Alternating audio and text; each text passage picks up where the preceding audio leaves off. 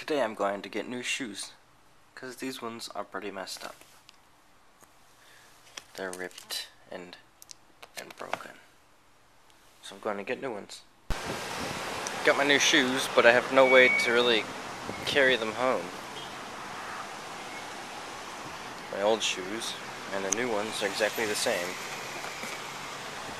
I have an idea though. One old shoe and one new shoe. One old and one new. Old shoes in the box. They're just like the ones on the cover. And we throw the new ones. No, not the new ones, the old ones. It won't fit. Anyways, go down there. Old shoes. Goodbye. New shoes on my feet. Now I don't need to carry anything.